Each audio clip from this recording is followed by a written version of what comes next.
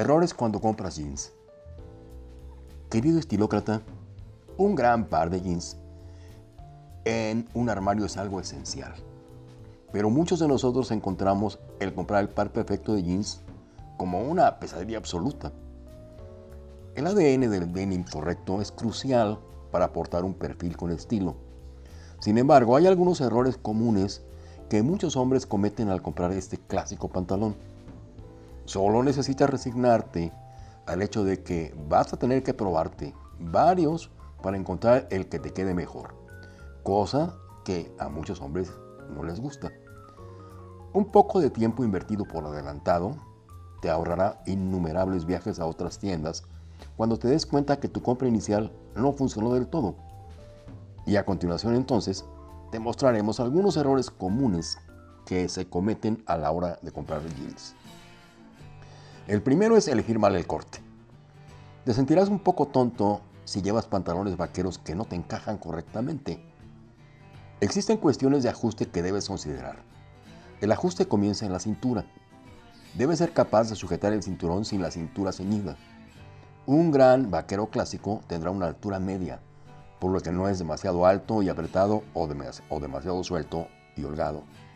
De hecho, tanto los pantalones vaqueros rectos como los clásicos son los más fáciles de usar con corte medio.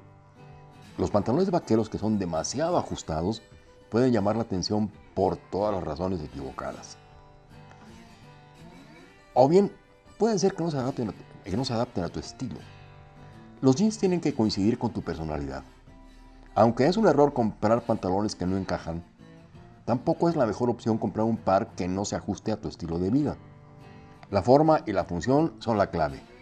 Sabemos que el gran número de opciones de estilo y diseño en los jeans puede ser intimidante, por lo que es importante reducir tu enfoque, asegurándote de que solo estás mirando jeans que van con tu personalidad y con tus necesidades. ¿Y qué hay con los jeans demasiado baratos? Ahora no hay nada de malo en ser inteligente y sensible respecto a los precios a la hora de elegir unos jeans. Existen muchos estilos sólidos a un precio razonable. No tienes que pagar mucho dinero por el nombre de la marca y el denim del diseñador para conseguir un par de pantalones sólidos.